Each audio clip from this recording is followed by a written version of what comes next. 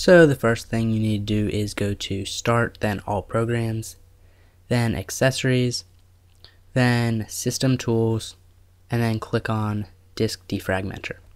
Now once in Disk Defragmenter, select the drive you'd like to defragment and hit Defragment Disk. Now what Disk Defragmenter does is it compacts and writes over files and moves them together so it doesn't take as much space up on your hard drive. So as you can see in one pass 63% has been relocated. So chances are your file has been relocated and you can see it going up. But if you want to make sure that it's written over, you need to use Evidence Eraser. So go to the link in the description, then hit download, then click here, start download, then save the file. Once it's all downloaded, open up the executable file, wait for it to open, accept the terms and license agreement, and then hit install. It will begin installing. Once it's done, hit finish. Now once in Evidence Eraser, you can see here all the different places that it scans for temporary files that it can delete. Now just select Start Scan and you do need to have all programs that it will be scanning in closed. So as you can see, I'm going to be scanning in Internet Explorer.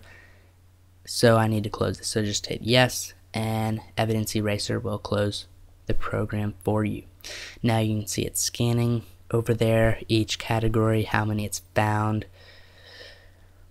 And then on the right, you can see the total progress bar.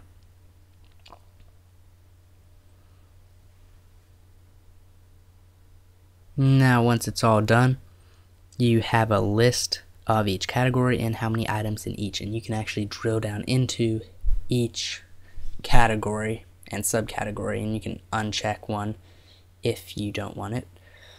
And there's detail view and then you just hit erase all. Once you're ready to erase hit yes. It'll take you to this website.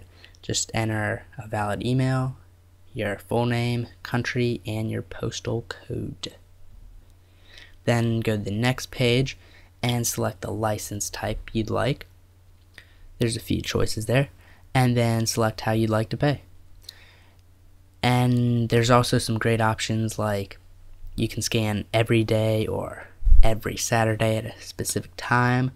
And there's also advanced shred, which you just add a file in there and then it writes over that spot where the file is located on the hard drive once three times or seven times if you really want to make it thorough.